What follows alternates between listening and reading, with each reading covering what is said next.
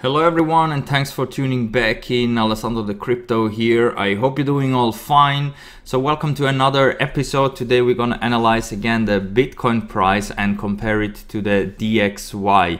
And we're going to also have a check on the CME gap that we have down to $11,100 and we're going to have a look if that gap is now filled or not. But before we start, remember that currently on Bybit we have this special extra bonus that is going on through the whole month of October. If you put a deposit of at least 0.1 Bitcoin, you can get up to $180 additional bonuses next to the normal rewards hub. You just have to put this voucher code Alessandro De Crypto in the Bybit rewards hub. And also next to this extra bonus, currently Bybit is giving to you $10 if you refer a friend. So if you have some friends that also wants to trade Bitcoin with leverage, for example, here on Bybit, you can share your own referral link. If you sign up with my link that you find down below here in the video description, you can get extra $10 if you successfully refer a friend. So definitely take advantage of this big opportunity that Bybit is giving to you right now. And if you're trading on Phemex, currently there is this uh, trading competition going on. You can still sign up also to my team. You find the link down below here in the video description. And if you're anyway trading on Phemex or you want to trade on Phemex, you also find the sign up link down below here in the video description. With my link, you can get $80 completely for free sign up bonus. So definitely go and check it out if you're interested because during this event, you will profit from less trading fees and also you can win up to 100 Bitcoin depending how many people are participating here to the event. And now my friends, let's start with the content and we begin here with this uh, one hour time frame because this is looking a bit bearish in my opinion. It looks like that after this run up that we had yesterday and with this lower low that we created, so we didn't manage to take out this high here at 11,740. So we created a lower high here and immediately afterwards we have seen a quite major dump here towards $11,200 and to clear it up right now I still think we are not filling this gap yet. So it is looking like that we're coming down to completely fill this gap down to $11,100. But if we are losing now this $11,200 support, I think we will most likely not only go here towards 11,100, but most likely towards $10,800. This is my next bearish target if we see continuation here to the downside. So whenever you're not sure if the gap is filled or not, most of the times that means that it's not completely filled filled because we need a clear gap filling here in order to say yes it's filled now and we can start to look again to trade higher for example here in this case. But if you're not sure if a gap is filled and most of the times that means that the gap is not yet filled. And this is also what I think at the moment and you can see that currently we are building up this nice support here at $11,200 but with these lower highs that we're creating it looks like that here in the one hour we could be in a potential descending triangle which in case of a breakout to the downside will take us straight down here towards $10,800 this is my next target to be reached in case of a breakout here to the downside and I still think this is very likely to happen within maybe today or maybe during the weekend. Let's see but currently it looks like that the one hour is turning back bearish and there is even a chance that here we could create a potential head and shoulders pattern and in that case the target would be also down here at $10,800. I think if we're gonna have a breakout here to the upside to take out here this high at 11,600 and also this one here at 11,700 then I think this is denied and we will see potentially a big rise towards $14,000 coming up pretty soon. But as long as we're staying within this pattern I think we're gonna jump up and down here before we're gonna see a clear breakout in my opinion potentially to the downside and although if you have a look into the Bollinger Band, you can see that currently we are trading here on the bearish side. All the indicators are shifted to the downside right now. And if we have a look into the DXY, here the DXY currently is also looking even similar to Bitcoin, is also dumping a bit here. So this is going to be very interesting what will happen here in the next couple of hours and days, of course but the DXY is keeping up here in this channel and as long as we're not seeing a breakout here to the upside or to the downside potentially we're gonna continue to trade sideways here And now let's open up the four hour time frame in the Bitcoin price. Here again, you can see this clear descending triangle, which in my opinion will most likely break out to the downside unless we're gonna take out this high that we had over here at $11,600. RSI starting to trade now below the 50 level, so that is bearish of course. And although if we have a look into the Bollinger Band, you can see that we're squeezing in this tiny channel and we're gonna see a big breakout pretty soon, potentially to the downside since we are now trading here on the lower end. So even if we see a pump, in theory 11,400 will be our new resistance. Also, all the indicators are shifted to the downside. So in my opinion, we're gonna most likely see a red day today unless we are going really to break out from these resistance that we have currently even up here at $11,600 because the $11,400 resistance is there where we have the 20 moving average right here at 11,400 so if you want to open up a short position then maybe wait for a test here of 11,400 or maybe for another confirmation that this 11,600 or 11,500 dollar is now the new resistance. And of course you can also do a breakout trade here. So in case that we're gonna go below 11,200 dollar you can go in with a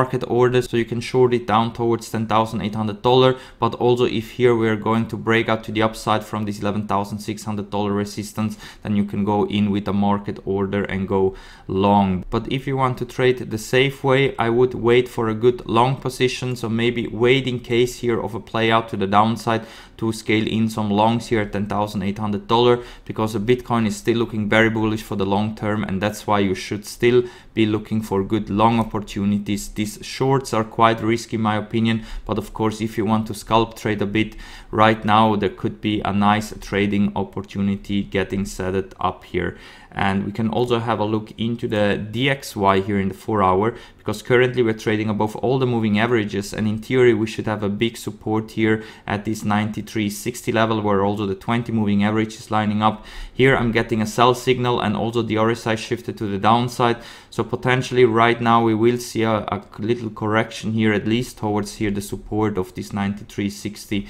incoming. And now let's go back to the Bitcoin chart and open up the daily time frame because the daily time frame in my opinion is also starting to look a bit bearish. We got here now a sell signal which is still not confirmed.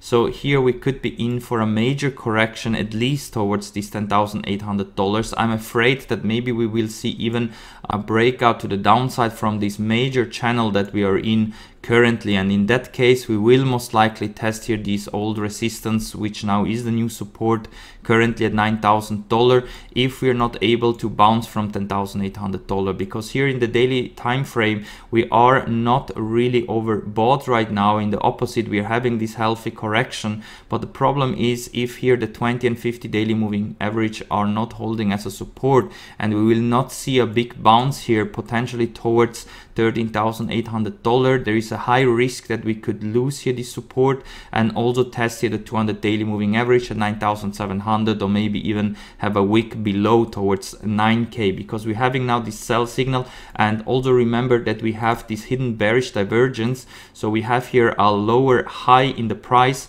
and here you can see in the RSI that we have a higher high. So that is a hidden bearish divergence and that could be very dangerous here in case that we're gonna see a major sell-off at least towards 1800 and even below. So if you want to take a big short position then maybe wait here for the breakout here to the downside from this $10,800 support because there potentially we could go at least towards 9,700 to 9k and at the other hand if you don't want to short Bitcoin then wait for a potential play out of this scenario and scale in longs if we are reaching this area down here at around 9k because that is the potential bottom here in case of a breakout here to the downside. Of course, we then also have to wait till we're gonna see again bullish signs although in the lower time frames in order to say okay that was the bottom and we can go all in again but I think most likely this is gonna be the bearish scenario if we're gonna lose here the support of $10,800 and if we're not gonna see a big bounce from it towards $13,800